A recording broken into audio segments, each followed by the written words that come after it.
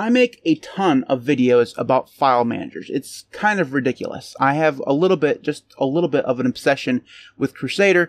I know that it's a thing that I'm working on, not really, but I know that as a personality trait, I have a thing for file managers. So what I thought I would do today is make a top five GUI file managers for Linux video because I haven't done that before and honestly I'm kind of surprised that I haven't. But we're going to rectify that today. Top 5 GUI file managers for Linux. Now, before I jump in, I should say that I'm specifically saying GUI. I probably didn't say that in the title. It's YouTube. I got to do a little bit of clickbait here, but uh, I'm specifically excluding terminal file managers from this list. And that's not because I think that they're bad or unusable or anything like that. I use Ranger all the time. It's just that I'm going to make a future video about the top five terminal file managers, and that will be in the future. So if you're interested in that, make sure you hit the subscribe button. That'll come out in the future. So let's go ahead and jump in to number five on the list. So the fifth best file manager for Linux is Krusader. Now, if you've watched the channel for any amount of time, you'll know that I love Krusader. This is my daily driver. This is the one that I use. And out of all the other ones on the list, this one here has the most features of any of them. It's feature packed. It has comes with a ton of dependencies, so much so that it's gonna turn a lot of people away. But it does so much. I would go so far as to say that this is the Emacs of file managers. I'm just going to put that out there, just uh, just for a joke. This thing does just an absolute ton of stuff. It does file synchronization between drives, comparison between drives, comparison between files. So you could do meld in this if you wanted to do something like that. N- network attached storage, SSH, everything you can think of this thing can do. My favorite parts about it is that it remembers your position after you close the damn thing. So it, all of the tabs and stuff you have open, they come back after a restart. It's fantastic. And the fact that it only has dual pane mode. Like th- this is the only way it works. Like you get two panes whether you like it or not. I think that's fantastic. So that's Krusader. I could literally spend all day just on this one file manager, but I've put it at number five for a reason because this thing is not for everyone. Like it has a ton of when I say it has a ton of dependencies, it has a ton of dependencies, like a lot. Like it's a KDE application because so of course it does. So just keep that in mind and it's so bad that you have to have dependencies to enable things like image preview, things like um, unpackaging or unzipping things. You have to have different packages for that. You could literally see this thing climbing up into the 40 or 50 dependencies range if you want to literally feature pack this thing. And that's definitely not for everyone. Not everyone needs all of these features. So that's the reason why it's number five and not number one. Because if this thing could be for everybody, it would be number one. Number four on the list is an oldie but a goodie. This thing here is called Nautilus. And if you use GNOME, you probably know this by a different name called Files. And it's actually pretty good. I will say that out of all of the ones on this list, this is my least favorite, but I put it on here because it is still a very good, very functional file manager. If all you need is a simple file manager, Nautilus is probably one of your best options because it does everything you want it to do without a ton of frills. Like if you go into the preferences, there's not a lot here. Like there's just a few things like you can control whether or not you want to double click or single click. You can do a few content menu actions, but there's not a ton of stuff here, and that's okay. Not everyone needs all the options that Krusader has. The downside to this is that it is a GNOME application. So if you aren't using GNOME or you're using Plasma or something like that, this is probably not going to fit in well with your system. It works best on desktop environments that utilize GTK uh, as you can see, I haven't themed any of this, so it kind of looks kind of fugly right now, but you can, I mean, if you've looked on Unix porn for anybody who uses this, you can do a lot of stuff in terms of theming it. It's fantastic in that arena, and it's very simple, which is also very good. So that is Nautilus or Files.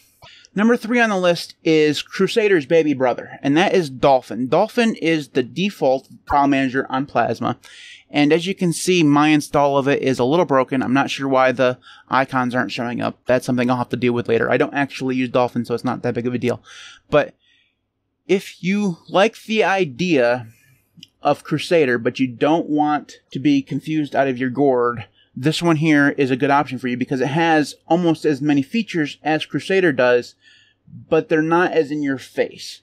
It starts out just out of the box as a plain old file manager, and then if you want to, you can customize it and extend it as much as you want. So you can add things like dual pane, it will remember your position, which is really nice.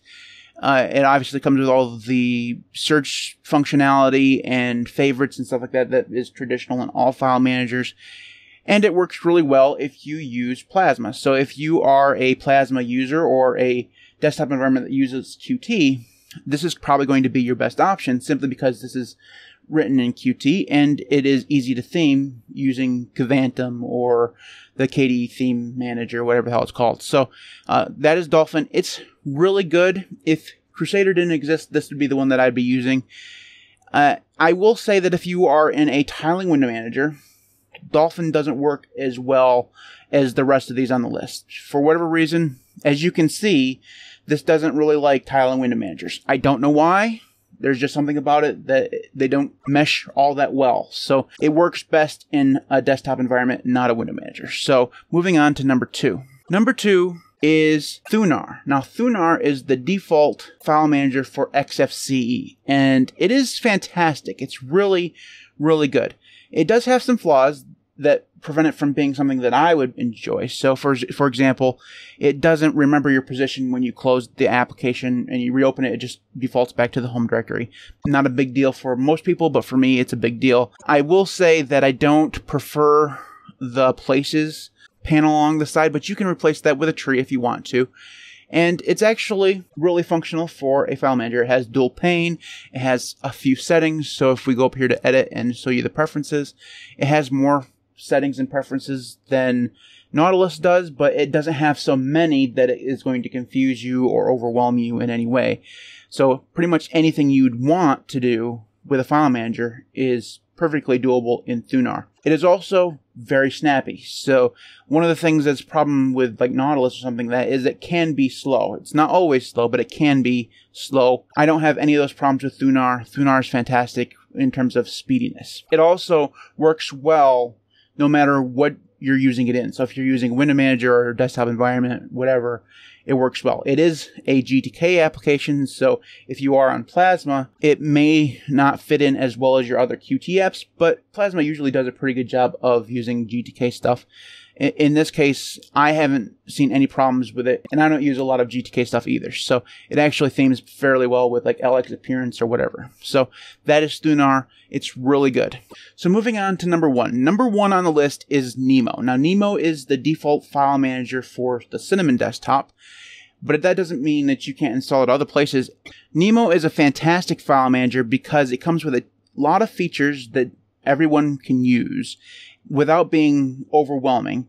And it's just a little bit better designed, in my opinion, than Thunar.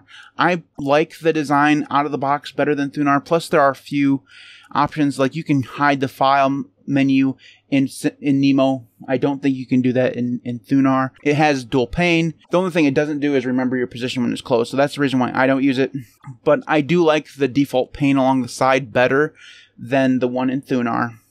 You don't have to do a tree in order to get something functional over there.